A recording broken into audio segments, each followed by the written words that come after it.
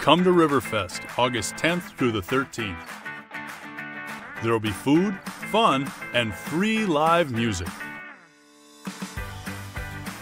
Come join us for face painting and body art, chainsaw carving, a craft fair, beanbag tournament, classic car show, fireworks, and more. Come on down to Riverfest August 10th through the 13th at Riverside Park, Watertown. Don't miss it.